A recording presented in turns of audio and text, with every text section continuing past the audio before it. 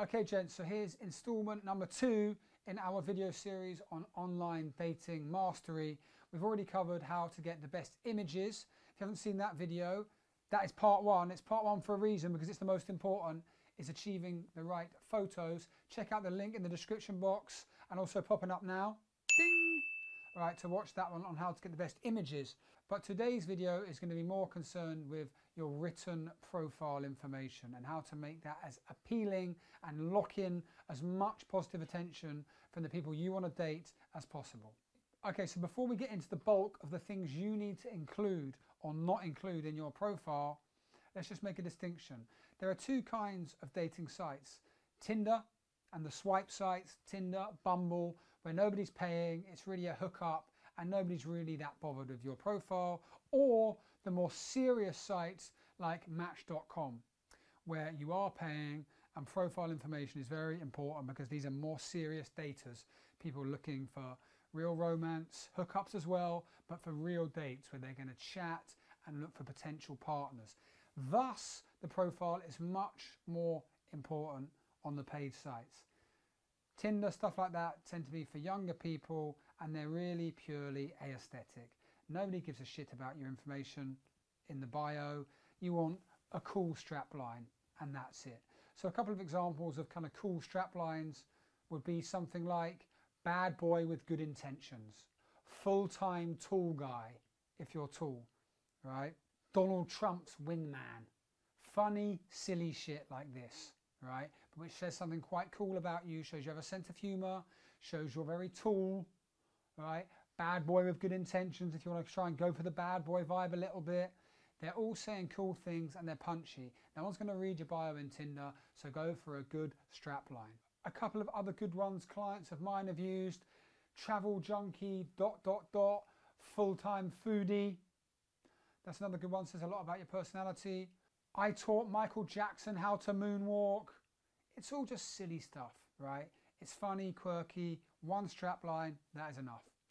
Now let's go on to the more important area when it comes to online dating and profiles especially, which is for the paid sites. So now let's progress on to paid sites like OkCupid, Match.com or Plenty of Fish. I think the leader is Match.com, but these are three of the biggest ones here in the UK. As I said, the information in your, in your profile now becomes very important. People who are paying for, for a site are going to want real value out of it. Thus, they're actually going to read the profile of their dates. The most important thing is your pictures. That's going to lock in their attention. If you look terrible, no one's going to read your profile. But if you look good in the pictures, well, then it's onto your profile. She's looked at your picture. She's like, yeah, he's not bad. He's not blowing me away with his look, but he dresses quite well. I like the locations. He looks cool, which if you follow the tips in the first part of this series, you can get that vibe off nearly everyone. But this lady is still on the fence. She's thinking he looks all right, but I'm not that bothered. I've got other guys. Well, what's going to sort of tip it in your favor is when she reads your profile. So now this is when your profile is make or break. If you seem boring, she's going to think, you know what, I'm not going to date him. But if you seem really cool, really fun and really interesting, and you have the right values and personality traits written in that profile, well then you're more likely to get a date than not. Thus, we're going to give you a list of personality traits and life values which you need to have embedded throughout your profile and a few examples of how you can best get them in. So furthermore, most women online have a lot of guys trying to get dates. You know, their inboxes are going crazy. What is going to separate you from, you know, the mass of hopefuls out there who are sending this particular woman messages hoping to get a date? Okay, if you write in a cool manner, funny manner, interesting manner, that is how you're going to be perceived. So this can really set you aside from the competition, put nudge her onto the right side of the fence, and put you way above people who are on a physical level, sort of no different, even higher than yourselves. Remember as well that men in their quest for dates generally tend to base everything on sex, sexuality, and attraction. Women are very, very different to this right? They're looking more for partners rather than hookups. They're basing stuff less on is he the man of my dreams physically and more the full overall package, which is actually much healthier than what guys do anyway. But women are looking at the full spectrum. Okay, so if you can write about yourself, which has the right personality traits, values, the right level of ambition, achievement, etc. All these really important key areas in it, translated in a really intelligent and direct manner with a bit of humour, it's going to be very successful. The man's role in the dating world as the man doing the chasing, constantly trying to get dates, obtain new women, kind of means that any viable option or anybody who's half attracted to him, a man will date. A woman is totally different. She has many more options, much less desire for a quick hookup and wants to try and find an emotional bond or someone who's going to be a potential partner, a like minded soul, somebody they're going to really get on with. Thus, we need to lace the profile and everything you write with feminine friendly values. So, we're not going to feminize you, but the way you write and your values have to be appealing to the feminine mind, to, to women's sensitivities. So we're going to give you a few tips on how you can make sure you master. So what we're going to do is we're going to give you two quick lists of traits, i.e. personality traits you want to keep constant throughout what you write, and values within your life. Sounds a bit complicated, but it's going to make sense as we go through it. We're going to start off with the personality traits. Some of these kind of intermingle, but it's these traits and values which make up the character which women are going to find very, very attractive when they're re reading these online profiles. So the first trait we want to get into your profile is emotional depth. This is a massive factor in speaking to women in person, online, at any time. It's very important to attach your emotional state to what you're talking about. Imagine the person who you're going to be seeing on that date and think if they speak in a really fun, open, honest manner, they're interesting, they have emotion, you're going to tell they're going to be easy to get on with, they're going to be fun, right? And that is the key to a date.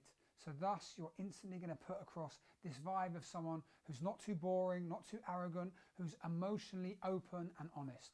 So as I said, we're not going to feminize ourselves in these passages in the, the written profile, but what we are going to do is translate our information in a manner which appeals to feminine sensitivities, which women will respond to.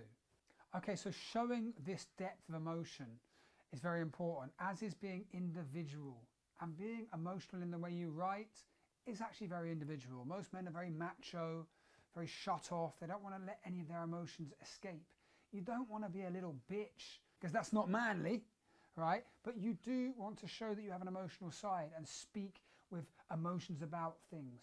You could talk about being on a beach on holiday somewhere and feeling that it was the most enlightening spiritual moment of your life as you looked out to sea and saw a young boy be eaten by a shark. No, I'm kidding, right? But you want to, you know, if you're talking about that kind of scenario, you're on a beach somewhere, it was an emotional moment, it was a really emotive moment for your life. Speak with emotion, speak with passion, not just, yeah, I was on a beach, right, and it was really nice and there's loads of sun. That was in Cuba. That's rubbish. We want to talk in an emotional manner, a passionate manner, give it some depth. And this takes us back to that point of being difference, showing individuality. You don't have to care about what other people think about you, and you're not trying to impress your mates now. Women are going to be reading this. So write it to help that target audience feel the vibes you are trying to transmit. So remember, these are traits and values in one list because they kind of intermingle. It's your aura, your essence, right? The trait you really need to emphasize throughout your profile is ambition, achievement, all the things which make you a man and a good prospect, a good guy to marry, a good breadwinner, a man who studied hard, a businessman, the kind of man, an old fashioned, traditional, good bloke, a good prospect. You want to show ambition in all areas of your life, be it socially ambitious, ambitious to travel more, ambitious to try more things, and especially ambition within your career. So you have to have, you know, a real lust for life. You want to do everything. You want to try everything. Who is this guy going to be like? Not only is he going to be really rich and take care of me, he's going to want to travel all over the world. He's going to want to do everything. He's interesting. He's ambitious. He wants it all. He wants to accomplish everything, do everything, try everything. And usually, people with that lust for life and that sort of energy to go out there, go getters, to grab life by the scruff of the neck and do whatever they want with it, do really well and are amazing people to hang out with or to date. So, our next personality trait is being intellectual.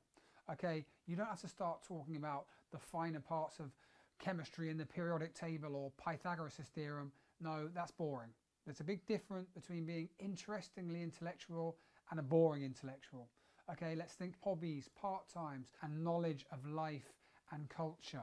So, in this way, we want to talk about our intellectual pursuits. You know, do you have a dream to go off and study Indian history while doing a yoga tour? That would be great.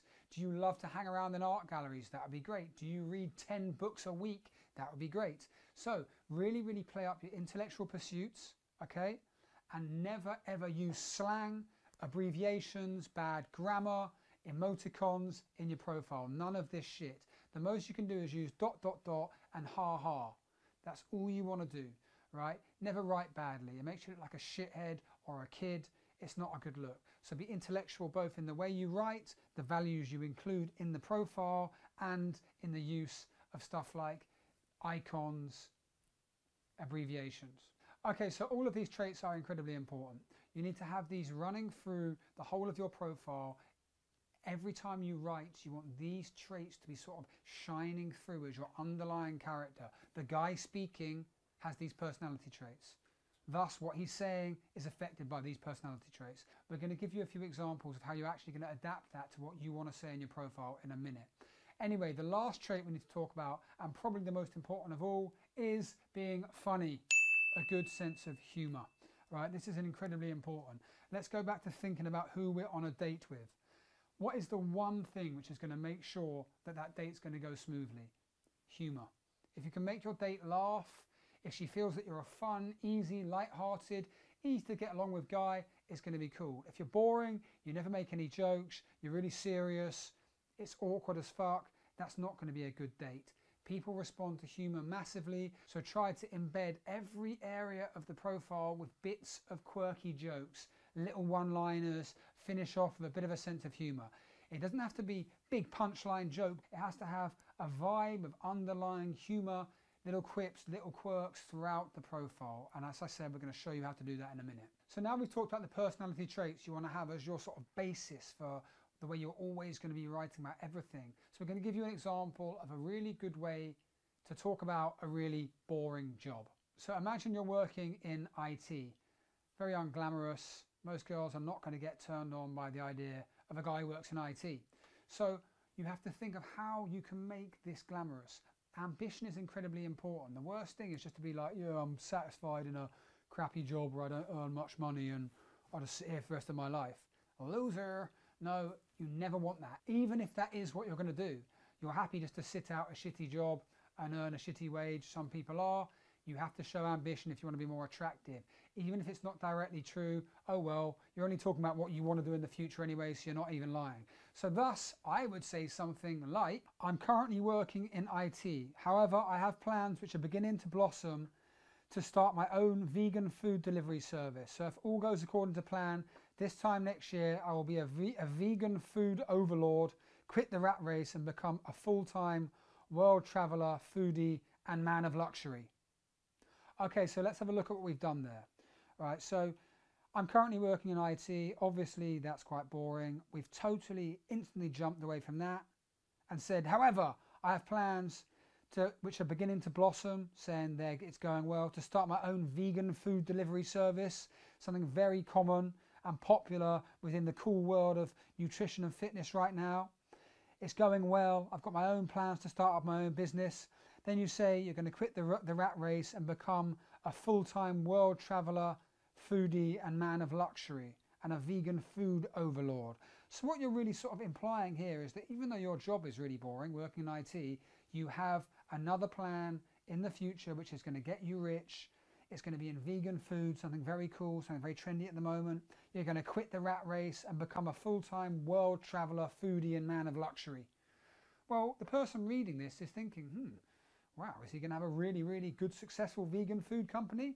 I wouldn't mind joining him in quitting the rat race and becoming a full time world traveler, foodie, and woman of luxury. Obviously, everybody who reads this stuff about how you dictate the way your life is is going to be thinking about their own life and how their own life could fit into this and how cool your life is. So if you say, oh, I work in IT, it's rubbish, who wants to fit into that life? Nobody. Whereas if you've just said everything I've just said, it's the same guy has the same crappy job in IT, except it's saying a huge amount more about what he's going to do with his future and how desirable he is as a partner in the long term. Okay, so our next point is spirituality, right? A sense of spirituality and depth. Maybe depth is even better than spirituality. It's tying you into something more than just your average, you know, give me that, take that, career minded, macho, sex minded man.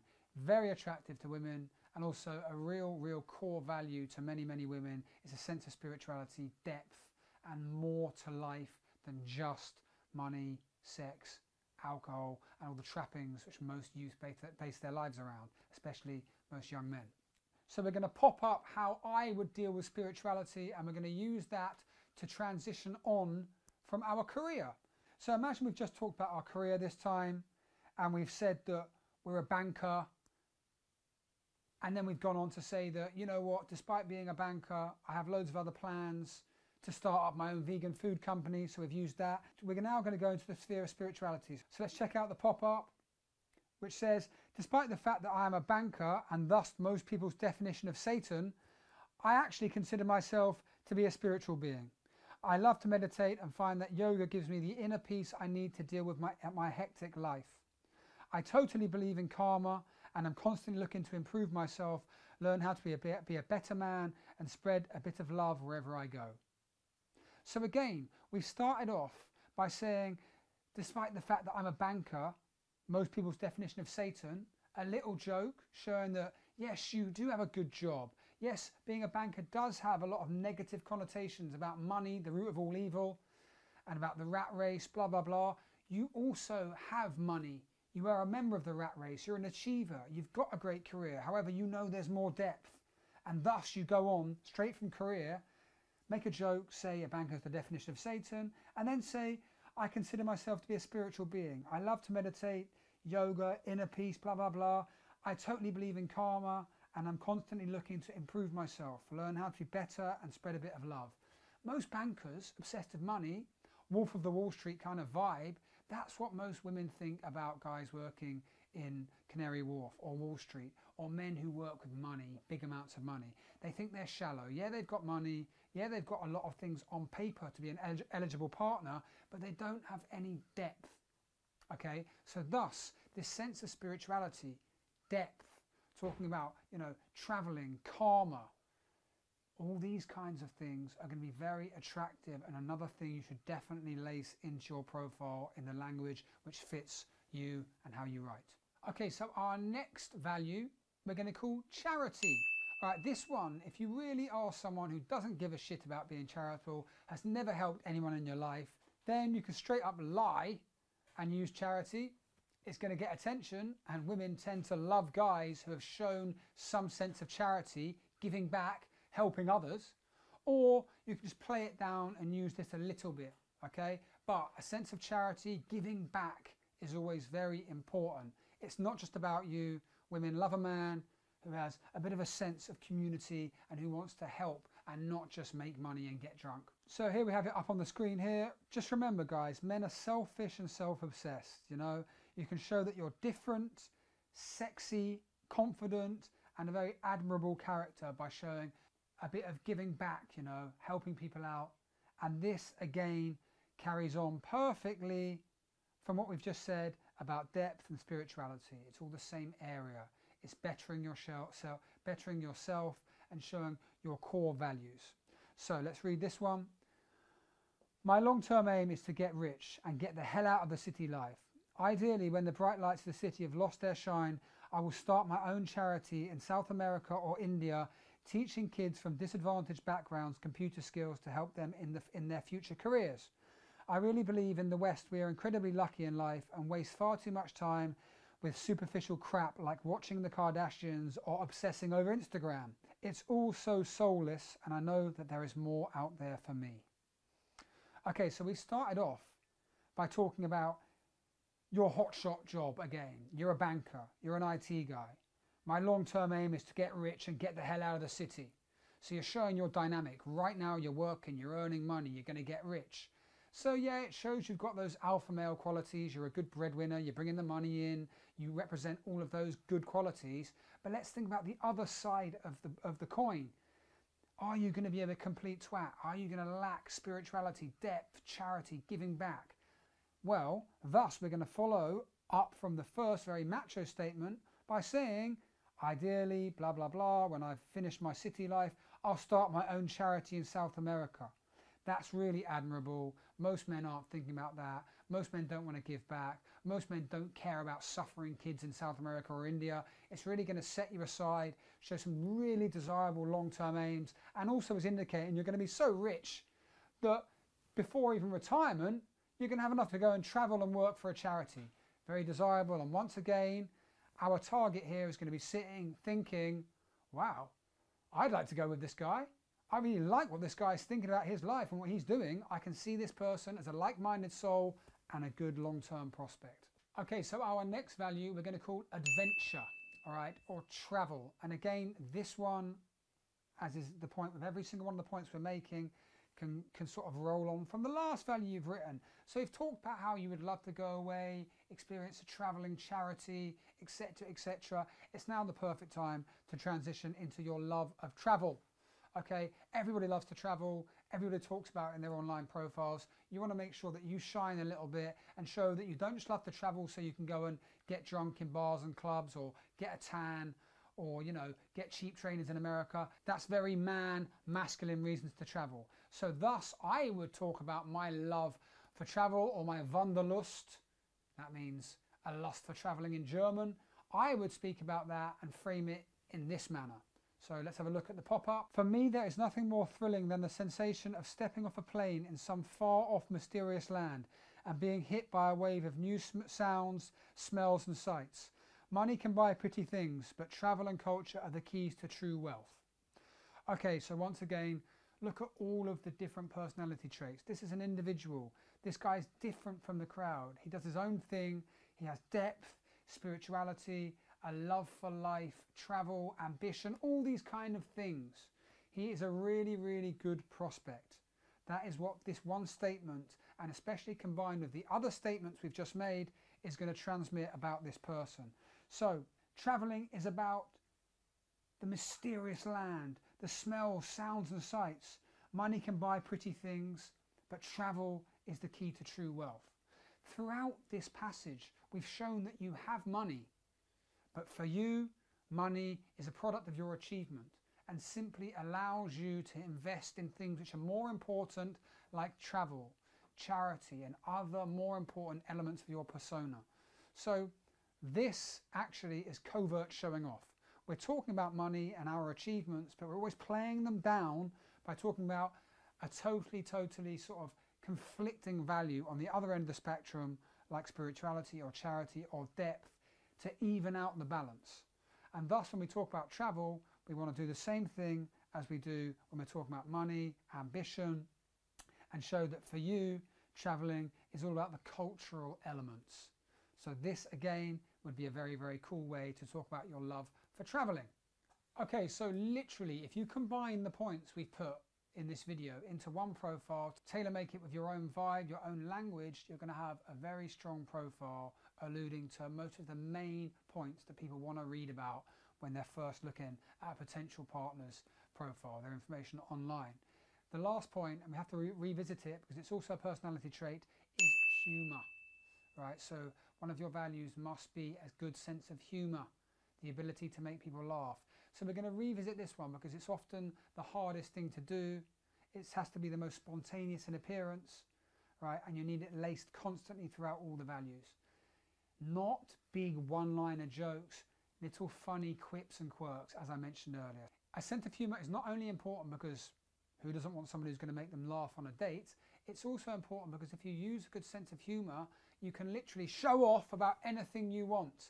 The easiest way for you to show off and to show that you have good things you've achieved, you've done good things, you're ambitious, you're wealthy, you're intellectually, you know, advanced, the best way to talk about these achievements is to play them off by taking the piss out of yourself and showing a good sense of humour.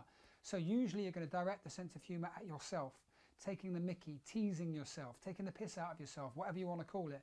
But remember, you never take the piss out of something which is really a negative trait.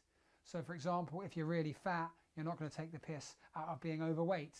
If you're very small, you're not going to call yourself a hobbit You're going to take the piss, take the mickey. You're going to tease yourself for areas of your life which are actually desirable or which have no relevance to your real status in society. Oh yes, and did I mention that I have pink fluffy slippers and a pink matching dressing gown? Dot dot dot. Well, they're actually salmon, not pink. Dot dot dot. It takes a real man to wear salmon. So that kind of thing. It's silly. It doesn't, doesn't even matter if you own pink dressing gown or pink slippers. It's a funny joke. It's got a nice tie-in by saying it takes a real man to wear salmon pink. Cool. Take the mickey out of yourself. Let's go on to the next one. Oh yeah, and did I mention I'm a massive Harry Styles fan? Dot dot dot. 1D just totally float my boat. Okay, obviously we're kidding, right? If you are a Harry Styles fan, do not mention it. Never say 1D. And they definitely don't float your boat or you're on the wrong dating website. Okay, so again, we're going to make funny comments just to show you have a sense of humour and not take yourself too seriously. Did I mention that I like to cook breakfast butt naked while singing opera? Again, let's give her a funny mental image of you singing opera, walking around your kitchen butt naked making a fry up. It's fun, it shows you don't take yourself too seriously, and you're going to be a laugh if she ever ends up in your kitchen. It's also placing a bit of sexual emphasis on her being in your kitchen. Makes her feel like she knows you, you're very open, and you're a funny guy. Talking about your, your educational experience, you could say, I studied at the University of Sussex where I did a part-time degree in architecture and a full-time degree in being hungover and eating kebabs. So again, it's another student cliche. It's showing you don't take yourself too seriously. But once again, we're getting across the fact that you did architecture uh, at the University of Sussex. You're lacing achievements with some counteracting values and showing you have a sense of humour about it all as well. Finally, let's play on a few cultural stereotypes. So if you say something like, I'm from Essex, however, I don't wear fake tan. Or, I'm from Liverpool, however, I don't own a shell suit. So those are obvious cultural stereotypes about your location. Think of where you're from. I'm from Scotland, however, I don't like deep fried, Mars bars. Say something cultural, make a joke about it, just keep lacing in these quips. Okay, that's another one on your sort of stereotypical cultural identity. You can do that again with your job. Instead of saying I'm a banker, you could say I'm a banker dot dot wanker. Sorry, I meant banker. Obviously it's a joke. Everyone thinks bankers are wankers. Say you know that, right? You could say something like, I'm a full-time scientist. I spend most of my time working in a science lab with goggles and a long white coat on. In fact, I think you could say that I am a super geek. Again, right, we're taking the piss out of our job, a super geek, but you're also embracing your identity. You could then go on to say how much you love your career and science is everything to you. You're embracing the super nerd whilst being funny.